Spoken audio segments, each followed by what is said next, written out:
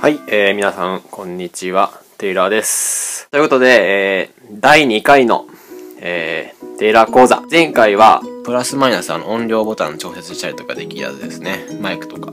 これの操作方法をお教えしました。ということで、今回は第2回目。まず今日ね、紹介するものはね、これですね。iPhone5 です。iPhone5 の今日はアップデートの仕方についてです。まあ、これはね、アップデートは結構皆さんね、一度は経験すると思いますので、ぜひ見てみてください。で、アップデートなんですけど、最近出たのが iOS6.01 っていうものが出ました。iPad mini 並んでる時に、あの、発売日にあの、Apple Store で OS の更新が出まして、見てください、これ。これ。1ってついてるんですよね。11月2日の発売日からずっとこの1マークが出てて気になってたんですよ。もう早速アップデートしようかなと思って今回アップデートします。はい、じゃあまずね、あの、このアップデートする前に一度パソコンや iCloud でバックアップを取っておいてください。えーまず設定の1を押します。そしたら設定画面が開くので、ここに1と書いてあります。一般を、はい、一般を開きます。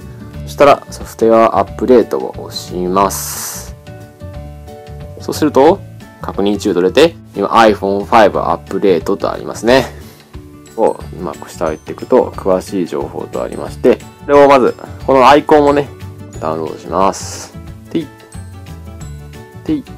で、ダウンロード終わりました。iPhone アップデートを入手できますと出てきます。そしたら iOS6.01 と出ますね。これが新しいやつです。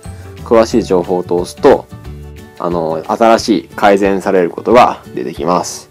確認できたら、このダウンロードして、インストールボタンを押します。T! で、まあ、バーっと見て、めんどくさいですから、同意する？通して、ステアアップデート続ける。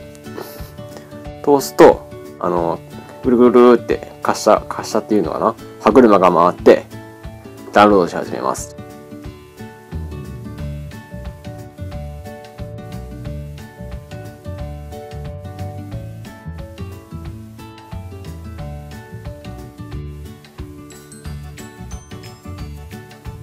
ということで、え？マジで？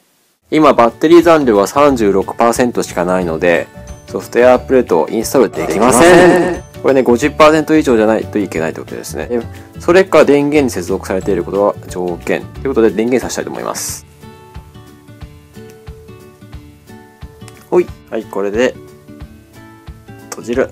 そしたら、インストールをしますね。このインストールを押せば、てい同意するっていアップデート認証中、認証中、検証中。